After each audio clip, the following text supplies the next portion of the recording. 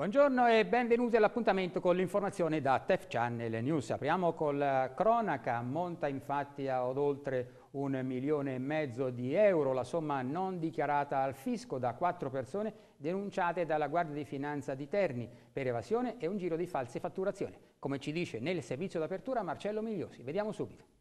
Un giro di false fatturazioni per un'evasione fiscale di oltre 1.500.000 euro di redditi non dichiarati, un'IVA evasa per 245.000 e l'emissione d'utilizzo di false fatturazioni per oltre 500.000 euro. È stata scoperta dalla Guardia di Finanza di Terni ad essere denunciati dai militari quattro persone, fra cui in primis l'amministratore di una SRL che utilizzava le false fatture per detrarsi costi inesistenti, il proprio reddito derivante dalla vendita di presidi sanitari. Quest'ultimo si avvaleva di tre ditte individuali intestate rispettivamente ad un uomo di circa 50 anni e alla mamma e alla moglie di quest'ultimo che emettevano a richiesta false fatture per opere di facchinaggio mai realizzate per conto della società. Centinaia di fatture sui locali si leggeva prestazioni e manovalanza per spostamento contenitori da e per vostro magazzino un mare di ore di lavoro per lo spostamento di migliaia di bombe d'ossigeno da una parte all'altra del magazzino, ma che gli stessi operai sentiti non ricordavano di aver mai eseguito, così come al termine dell'accertamento ha dovuto ammettere anche lo stesso titolare della ditta individuale. Costi fasulli in sostanza per prestazioni di servizio che venivano quindi fiscalmente scaricati dalla società negli anni dal 2008 al 2010 per abbattere l'IVA, le imposte sui redditi e l'IRAP, mentre le tre ditte individuali non presentavano proprio alcuna dichiarazione e non versavano alcuna imposta. Tutto questo alla faccia dei contribuenti onesti. Marcello Migliosi, Ter Channel News, Terni. Il magnifico rettore dell'Università di Perugia, Francesco Bistoni, ospite a Speciale Università in onda questa sera su TEF Channel, traccia la roadmap per le elezioni e la costituzione dei dipartimenti entro ottobre e tira così un bilancio dei suoi mandati al vertice dell'Ateneo Perugino. Una roadmap di massima e condivisa che consente elezioni di rappresentanze studentesche, costituzione dei dipartimenti ed elezioni del nuovo rettore al massimo entro ottobre e la ferma volontà di smentire chi parla dell'Ateneo di Perugia come di un Ateneo allo sfascio. Sono questi alcuni dei più significativi passaggi dell'intervista che il magnifico rettore Francesco Bistoni ha rilasciato a TEF Channel insieme con il professore merito Antonio Pieretti nell'ambito della trasmissione speciale Università, un'occasione pubblica nella quale smentire chi parlava di una sua permanenza alla guida dell'Ateneo o profilava persino un rischio commissariamento. Il fatto di poter eh, arrivare a eleggere il rettore a ottobre allontana qualsiasi ipotesi di reggenza temporanea, che può essere fatta attraverso un prorettore, un decano o cose di questo genere, ma sono ipotesi diciamo, completamente campate per aria perché in realtà noi non abbiamo mai rischiato una ipotesi di questo genere. Ora, eh, poi naturalmente l'enfasi negativa, anche alimentata da una certa stampa su queste situazioni, anche eh, relativa all'eccessiva all politicizzazione, quella deteriore che è stata introdotta nella lotta accademica sull'elezione del rettore, fa sì che, che certe notizie abbiano il sopravvento e abbiano eh, l'importanza che non meritano, no? eh, vengono buttate in pasto all'opinione pubblica, ma in realtà eh, un'ipotesi di questo genere non è mai stata neanche, neanche ipotizzabile. Mi permetto di dire che eh, eh, alla data del primo novembre sarò pensionato.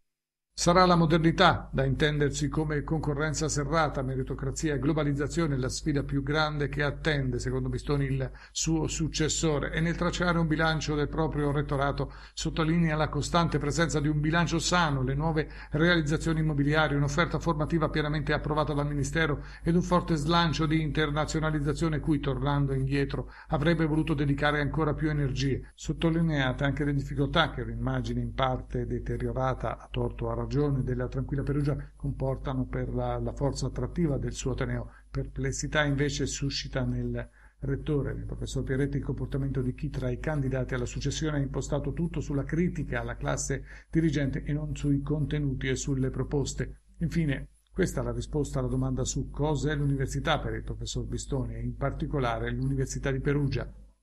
Saladino, eh, rivolgendosi, disse e cos'è per lei Gerusalemme? E lui eh, guardando disse niente. E poi riguardandosi attorno e sorridendo disse tutto. La versione integrale dell'intervista al magnifico rettore Francesco Bistoni e al professore emerito Antonio Pieretti realizzata da Cristina Castellano andrà in onda questa sera su Tech Channel nell'ambito della rubrica Speciale Università. E per la visita di Papa Francesco ad Assisi, prevista per il prossimo 4 ottobre, sono attese oltre 200.000 persone. E intanto la macchina organizzativa si è già messa in moto, come ci dice Paola Costantini. Sono attese oltre 200.000 persone per la visita di Papa Francesco in programma ad Assisi il prossimo 4 ottobre. Preparativi in corso sul fronte sicurezze relativamente al percorso che il Santo Padre dovrà compiere una volta arrivato nella città del Poverello. I dati certi, ha dichiarato il sindaco di Assisi Claudio Ricci, sono che il punto di riferimento e raccordo saranno la Santa Sede del Vescovo di Assisi Monsignor Sorrentino, con il supporto logistico ed organizzativo del Comune insieme alle altre istituzioni ed associazioni. Saranno toccati diversi luoghi luoghi francescani, anche detto il primo cittadino, sia in Assisi centro sia nel territorio, ma nulla è stato definito. Vista l'alta affluenza di pellegrini prevista per il 4 ottobre, non pochi saranno gli accorgimenti da un punto di vista logistico e del traffico, sia in entrata sia in uscita. Il Papa dovrebbe fermarsi in Umbria un solo giorno e non è stato ancora deciso con quale mezzo arriverà. Entro la fine del mese di luglio inoltre il cerimoniale sarà definitivamente messo a punto. Per il piano sicurezza invece bisognerà attendere settembre.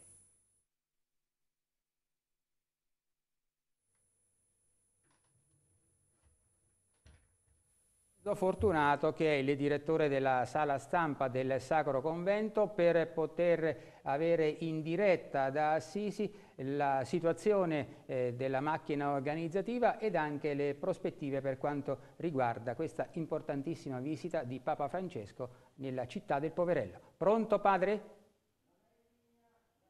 Mi dicono dalla regia che non è possibile collegarci al momento con padre Enzo Fortunato, vedremo se sarà possibile più avanti. Allora Proseguiamo con la nostra scaletta e per oggi è in corso al Giardine del Frontone di Perugia il Gay Pride Village, ma la città si divide fra sostenitori e detrattori. Vediamo il servizio.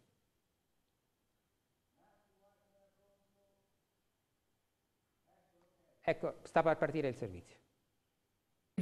Parade oggi a Perugia. La manifestazione organizzata ai Giardini del Frontone vede l'impegno diretto di una quindicina di associazioni intente a promuovere dibattiti, proiezioni di film, concerti musicali e l'allestimento degli stand. Le tematiche sono quelle dell'abbattimento delle discriminazioni, come emerge dal dibattito apertura curato dall'Ufficio Nazionale Antidiscriminazione sul tema Strategia nazionale per la prevenzione e il contrasto delle discriminazioni basate sull'orientamento sessuale e sulle identità di genere. È previsto oggi anche un incontro con la presenza di Franco Grillini, ex deputato e presidente onorario di Arcigay, e del sindaco di Perugia Vladimiro Boccali. Il Gay Pride a Perugia serve per far sì che anche eh, in Italia, anche in una regione piccola come l'Umbria, queste rivendicazioni possano essere portate avanti e speriamo che prima o poi anche noi arriveremo a, ai livelli degli Stati Uniti. Eh, il Gay Pride è un'occasione eh, eccezionale per dimostrare a tutta la cittadinanza eh, le nostre rivendicazioni. Anche la presenza delle autorità e di associazioni non coinvolte direttamente con eh, il movimento è sicuramente una testimonianza molto importante dei, del segno, dei, tem del segno eh, dei tempi che cambiano. E ci sono a Perugia opinioni diverse su una manifestazione ben caratterizzata come il Gay Pride ed ora sentiamo quella di Massimo Monni, consigliere regionale del Popolo delle Libertà. Ma ritengo che ognuno può dimostrare qualsiasi eh, sua eh, cosa nella, nella, vita perché in un mondo libero è giusto che tutti possono fare eh, quello che ritengono opportuno. Ritengo eh, che la libertà delle persone sia da rispettare, ritengo però nello stesso tempo che eh, su, una, su, uno Stato libero non c'è bisogno di fare delle dimostrazioni, delle riunioni per rivendicare qualcosa, ognuno è libero di avere la sua sfera sessuale, ognuno è libero di, di, di, eh, di essere in un contesto come questo eh, sia omosessuale o eterosessuale, eh, però ritengo che sia eccessivo fare eh, delle dimostrazioni per dimostrare che cosa. Ognuno vive la sua sessualità in modo privato senza che nessuno eh, deve dire o fare nulla. Dunque questa è una mia naturalmente idea personale, non è una questione del PDL perché qui la sensibilità è tale che ognuno non è una questione politica ma è una questione di sensibilità personale, io ritengo che ognuno è libero di avere la sua sessualità, ritengo eccessivo e anche riduttivo che uno deve dimostrare qualcosa facendo delle, delle manifestazioni. E ascoltiamo su questi argomenti l'opinione di Michela Semeraro che fa parte dell'associazione Famiglie Arcobaleno. Vediamo. Ho una compagna da 12 anni che eh, dopo 12 anni abbiamo deciso di avere un bambino per completare la nostra famiglia. E ovviamente eh, sono viaggi della speranza che vengono fatti fuori dall'Italia perché in Italia non è possibile eh, concepire un bambino in maniera eh, come è stato concepito lui, con, tramite inseminazione artificiale. E la, nel momento in cui la, mh, noi stiamo lottando per il matrimonio, per il riconoscimento da parte della mamma non biologica del bambino, sono varie lotte che, lotte che Famiglia Arcobaleno ha fatto su, è nata proprio per questo e, e siamo addentrati, cerchiamo di ehm, vivere la nostra vita alla luce del sole in maniera che eh, la gente eh, possa non fuggire a, a una sorta di omofobia contro gli omosessuali perché sono persone completamente normali che scelgono di avere una vita secondo quelli che sono i loro gusti sessuali. Siamo riusciti a ristabilire il collegamento telefonico con padre Enzo Fortunato, direttore della sala stampa del Sacro Convento di Assisi, che eh, volevamo ascoltare proprio per eh, capire da lui qual è il clima dell'attesa per questa storica visita di Papa Francesco nella città del Poverello nel giorno appunto del, eh, dedicato al Santo Patrono d'Italia. Pronto padre Enzo?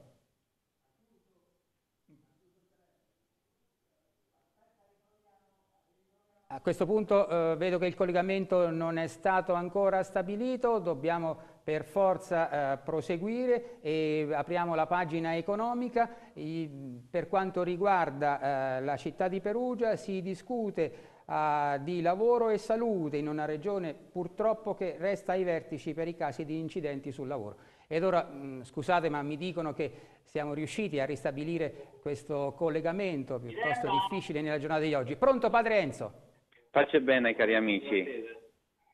Ecco Padre Enzo, siamo in diretta dal... Sì, eh, sì, non, da... non, vi ho seguito, quindi che è caduta la linea, ditemi. Ecco, dobbiamo ehm, fare luce ancora sul clima di attesa che c'è ad Assisi per questa eh, storica sì. visita di Papa Francesco nel giorno del Santo Patrono, il 4 ottobre. Ecco, sì. qual è eh, il clima che si respira nel Sacro Convento? Beh, è un clima sicuramente di grande attesa un clima eh, diciamo, corroborato dalla preghiera, eh, proprio perché desideriamo accompagnare questo incontro eh, con la preghiera. È la prima raccomandazione che Papa Francesco ha fatto personalmente al custode del Sacro Convento, al Ministro Generale, quando siamo andati per incontrarlo, di dire pregate per me e gli abbiamo assicurato questa preghiera sulla tomba di San Francesco. C'è poi ehm, l'attesa di come si svolgerà il programma. Ecco, io vorrei dire ai mezzi di informazione ehm, quanto sia importante essere prudenti, non dare notizie avventate, perché ad oggi ecco, eh, si sa che viene, il programma deve essere ancora messo a punto, si aspetterà che, le indicazioni che ci arriveranno e dopodiché si, comuni, si comunicherà un po' il programma dettagliato. Una cosa è certa, e che eh, sarà un po' il cuore dell'intera giornata, e cioè l'incontro tra Papa Francesco e San Francesco. E provo ad immaginare con la preghiera, con uh, sentimenti di affetto e di gratitudine, che cosa San Francesco dirà a Papa Francesco e che cosa Papa Francesco dirà a San Francesco. Ecco, noi questo incontro ricco di attesa, di entu- ricco di entusiasmo, lo, lo, lo accompagniamo con, con la gratitudine e con la preghiera. Ecco Padre Enzo, lei è impegnato anche eh, sul campo dell'informazione, ovviamente è il suo mestiere, e la rivista come darà eh, spazio a questo storico evento che riguarda non solo Assisi ma direi tutta l'Italia in generale. Sì, noi prepareremo un numero speciale prima e dopo. Prima accompagneremo quindi con commenti autorevolissimi eh, tutte le tappe che farà, perché una volta snodato il programma, ecco, con la rivista specificheremo i luoghi, diremo dove andrà il Papa e poi, e poi eh, subito dopo, eh, subito dopo diremo, diremo con una rassegna fotografica bella quello che è stata la visita. Ecco, chi vuole questa rivista la può richiedere, io do sempre indicazione di affacciarsi sul nostro sito sanfrancesco.org che è un luogo di uh, approfondimento e di tutte quelle che saranno poi uh, le notizie legate alla visita storica, avete detto bene in apertura, di Papa Francesco ad Assisi. Grazie Padre Enzo per queste importanti precisazioni. Allora apriamo la nostra pagina economica. Ieri e oggi a Perugia eh, discussione sui temi di lavoro e salute in una regione che resta ai vertici per i casi di incidenti sul lavoro. Marcello Migliosi. Perché avverto che il rapporto tra lavoro e salute ed ancora più la sua attualità è al centro di un'approfondita riflessione nell'ambito di un workshop regionale dal titolo Lavoro e salute, ancora un tema attuale, punto di domanda, che si sta tenendo in questi giorni nella sede di Sistema Edilizia in via Pietro Tuzzi, 11 a Perugia, l'occasione per far emergere i punti di vista di tutti i protagonisti del mondo del lavoro, rappresentanti degli imprenditori, dei lavoratori, dei consulenti del lavoro e dei medici competenti, ma anche degli esperti dell'Università di Perugia e dei rappresentanti di tutte le istituzioni coinvolte.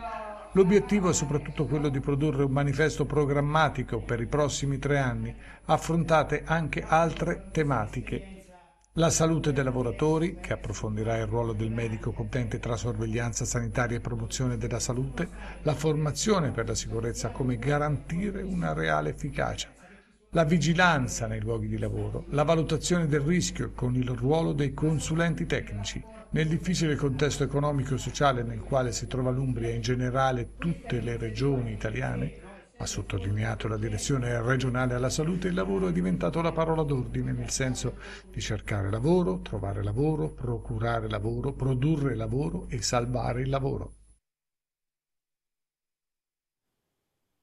Parliamo ancora della crisi San Gemini. Tornano infatti alla carica i sindacati per sollecitare un intervento da parte della Regione Umbria. Paolo Costantini. Fly CGL, Fai Cisle e Willa Will insieme alle RSU di stabilimento annunciano la ripresa della mobilitazione anche con modalità eclatanti se entro le prossime ore non sarà definita la data di un nuovo incontro istituzionale per discutere della vertenza che riguarda San Gemini, San Gemini Fruit e Amerino.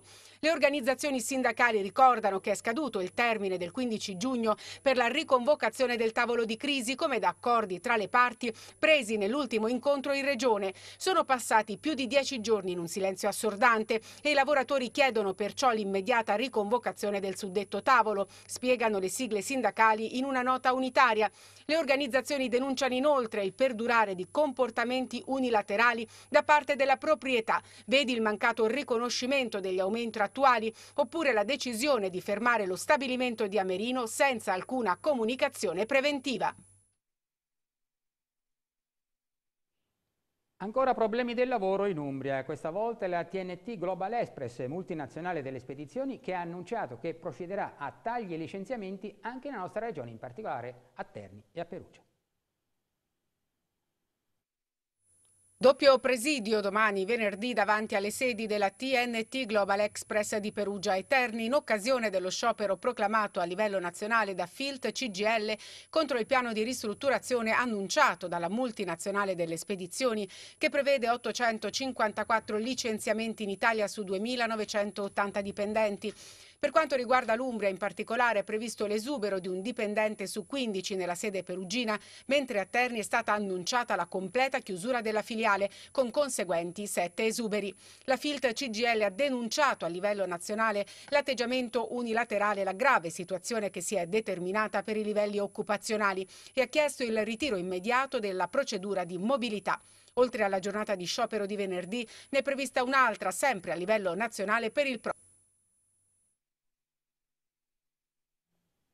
Siamo alla pagina sportiva che apriamo con eh, la prossima novità sul piano della manifestazione sportiva, infatti dal 29 giugno al 7 luglio si svolgeranno gli internazionali tennis dell'Umbria in programma Todi, con la nuova formula che abbina gli incontri del torneo maschile a quelli femminili. Vediamo. Mancano appena due giorni al via degli internazionali dell'Umbria di tennis in programma dal 29 giugno al 7 luglio a Pontenaglia di Todi, presso gli impianti sportivi del Tennis Club Todi 1971 presieduto da Marcello Marchesini. Quest'anno la formula della massima manifestazione tennistica della regione Umbria vede lo svolgimento in contemporanea del Challenger ATP maschile, 30.000 euro di montepremi, e delle gare del torneo femminile, 10.000 dollari in maschile alla quale figurano inseriti giocatori che nelle classifiche mondiali si trovano anche tra i primi 100 posti, siamo al settimo anno, mentre per le donne quella del 2013 edizione. Confermata la presenza degli sponsor di primo livello. Per gli uomini si tratta di Distalnet, che fa parte del gruppo Blue Panorama, sempre legato al tennis Tuderte, e per le donne Astra Italy.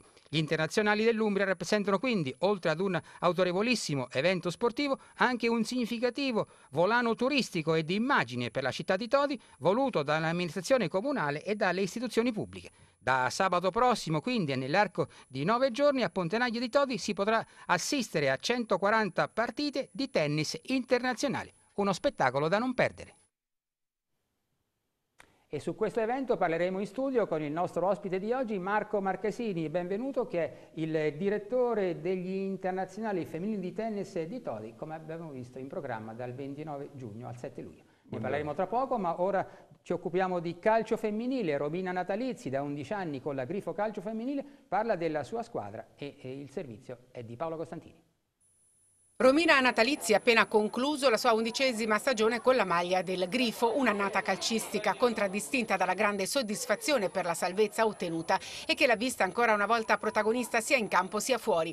È nota la sua grande applicazione dal punto di vista tecnico, come altrettanto riconosciuto nell'ambiente biancorosso il lavoro che svolge all'interno dello spogliatoio. Un leader anche nelle dichiarazioni mai banali e fatte al momento opportuno. La salvezza è un risultato storico, ammette la stessa Natalizzi, che accresce il nostro curriculum e soprattutto le nostre convinzioni. Il prossimo campionato di Serie A che andremo ad affrontare sarà forse più difficile, ma meno impegnativo sul piano mentale. Ormai sappiamo come porsi di fronte alla categoria e credo che potremo raggiungere senza particolari sofferenze la salvezza. La scelta di Sciurpa, allenatore che ha sostituito Scapicchi, mi sembra ponderata e opportuna. Giacomo conosce il nostro ambiente ed è un tecnico di prospettiva pieno di volontà. Sciurpa potrà contare su una rosa pressoché confermata che in sede di mercato potrebbe essere ritoccata.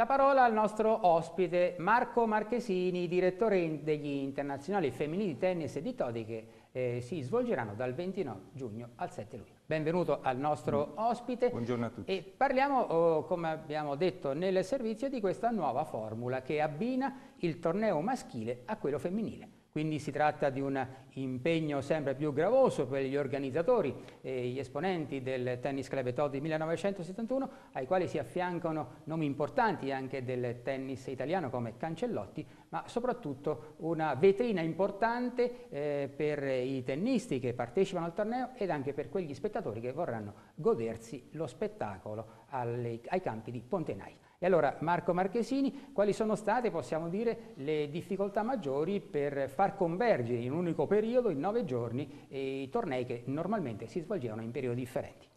Buongiorno a tutti di nuovo. Eh, le difficoltà le vivremo durante questa settimana di incontri, come hai ricordato tu saranno più di 140 incontri, i match che si disputeranno sui nostri campi.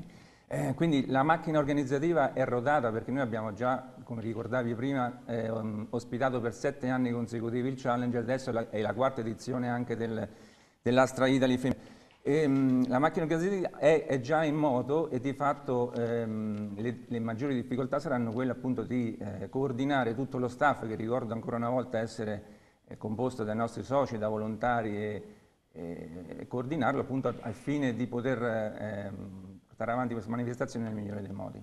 È una sfida di fatto che ormai dopo tanti anni ci siamo sentiti di, di, di, di fare e quindi Diciamo che è uno sforzo raddoppiato perché si tratta di far coincidere negli stessi periodi eh, le attività che si svolgevano eh, sia per il maschile che per le femmine in modo differenziato e quindi eh, sia per la logistica, sia per l'organizzazione, anche per tutto quello che riguarda eh, l'allestimento generale. Sì, I nostri campi saranno occupati per tutta la settimana eh, completamente, a, tutti, a, tutte le ore.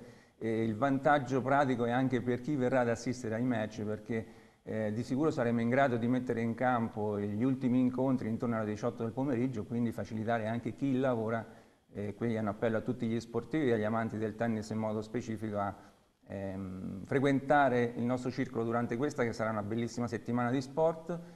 Ehm, noi ci poniamo come unico torneo eh, con evento combinato maschile e femminile dopo gli internazionali di Roma in Italia.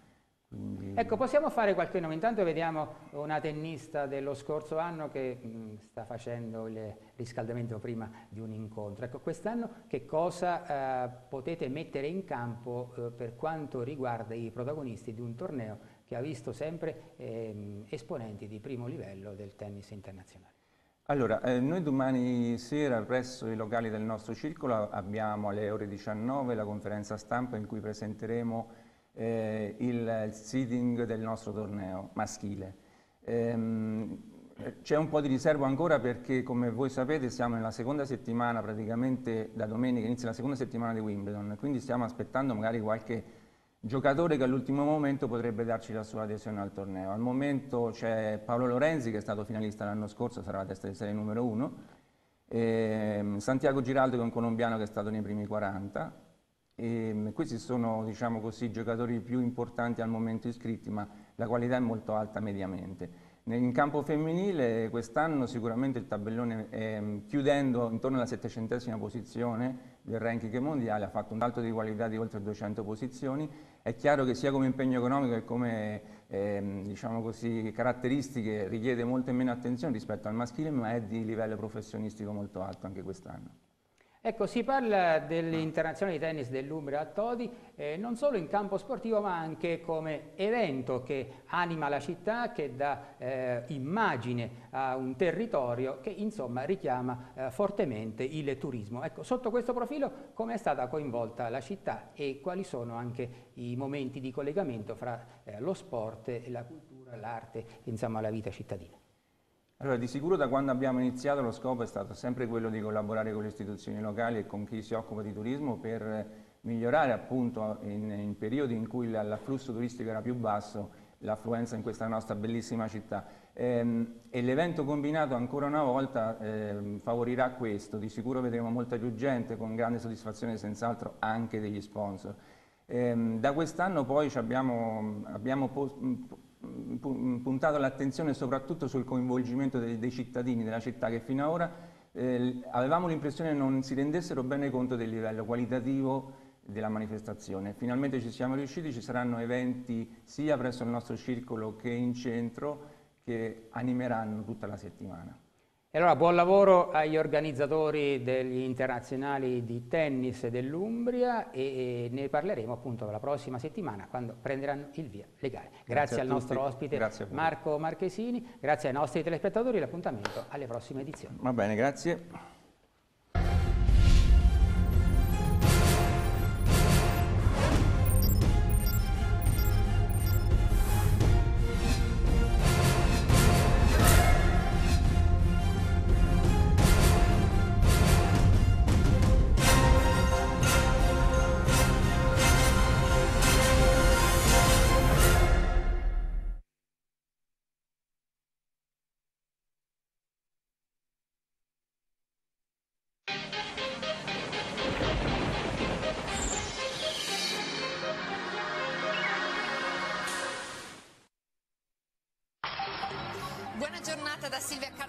E dallo staff di ilmeteo.it. Ecco le previsioni per mercoledì 26 giugno 2013.